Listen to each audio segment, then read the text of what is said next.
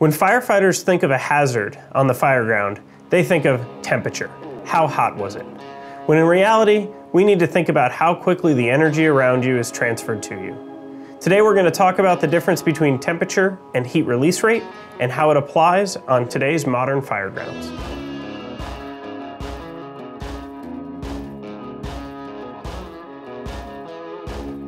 Temperature is the average amount of energy contained in a substance.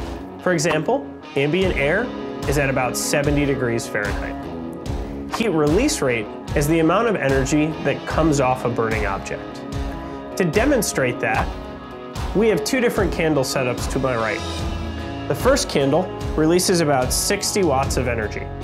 We can relate this to a 60 watt light bulb as they release about the same amount of light. The temperature of this candle flame is somewhere between 1400 degrees and 1700 degrees, depending on where in the flame we are.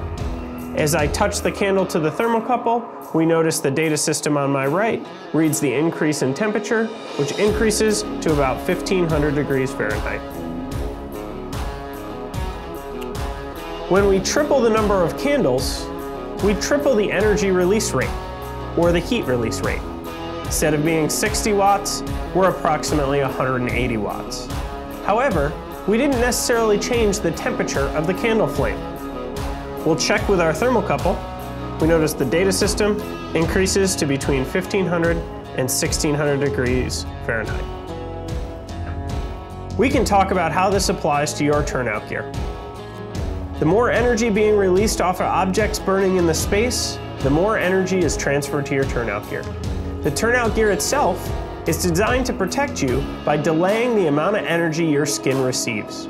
The higher the heat release rate and the faster this energy transfer occurs. As energy is transferred through the turnout gear over time, there is the potential for you as a firefighter to receive a burn once enough energy has been transferred from the outer shell to the surface of your skin.